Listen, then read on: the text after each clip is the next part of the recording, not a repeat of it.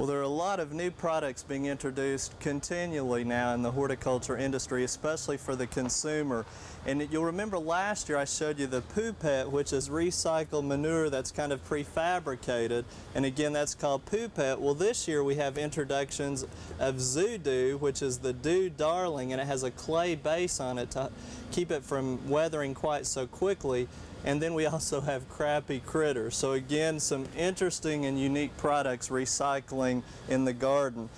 Also, I showed you last year a new one that if, if you have any squeamish people in your household that doesn't like to touch insects, you can actually like trap a spider or whatever on the wall, close this one too, and then you can take it outside and release it. Well, recently I had a birthday and some of our OBGA volunteer ambassadors got me a birthday present, which is called a Super Swat Fly Swatter.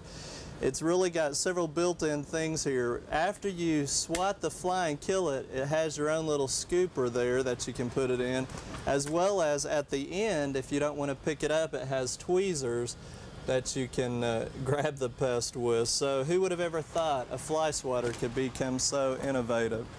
Also, there's new pesticides being released all the time, and let me start with this one, which is a herbicide called Finale, and it's supposed to give Roundup or glyphosate active ingredient a run for its money with a little bit quicker uh, response. And remember, these would be non-selective, so they kill anything you spray them on, but another new one being introduced into the market.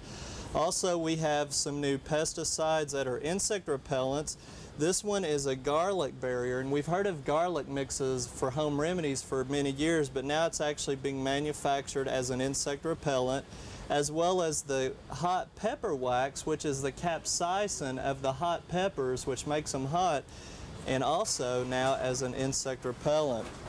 Even fertilizers are becoming a little bit more innovative.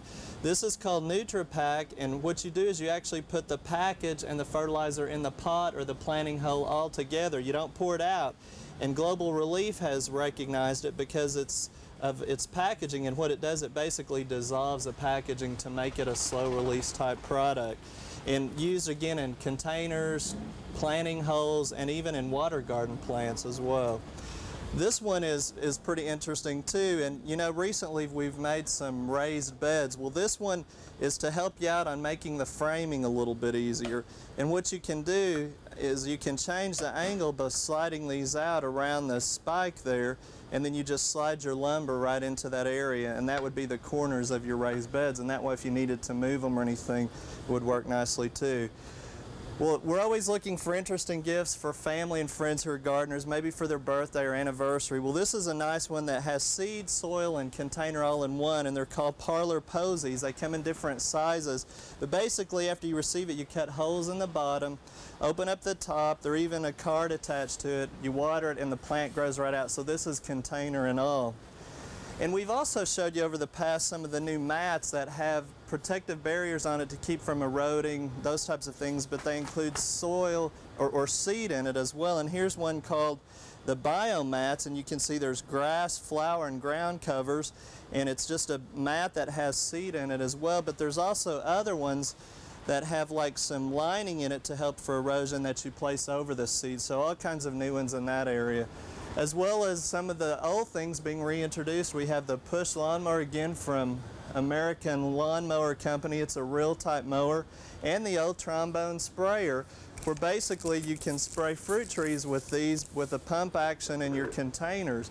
So a lot of new things out in the market and remember most of these are at your garden centers and if they're not just be sure and ask for them because they're readily available from manufacturers to the retail garden center.